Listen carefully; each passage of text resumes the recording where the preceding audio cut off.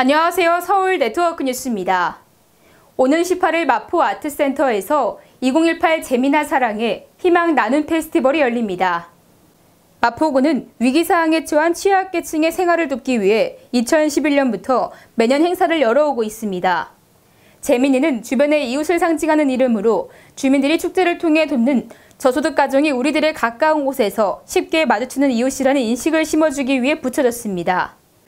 지난 7년간 축제를 통해 총 17억 2천여만 원의 성금과 성품이 모아졌습니다.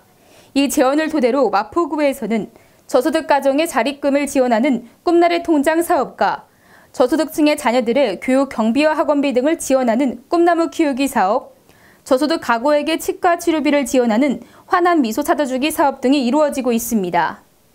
유동균 마포구청장은 아이에게 학용품 하나 사주기 버거운 형편에 이웃들이 우리 주변 곳곳에 있다며 이 가족 구성원들이 미래를 꿈꿀 수 있도록 가정의 아이들의 학교 생활을 당당히 할 수 있도록 이번 행사에 참여해 주시기를 부탁드린다고 말했습니다.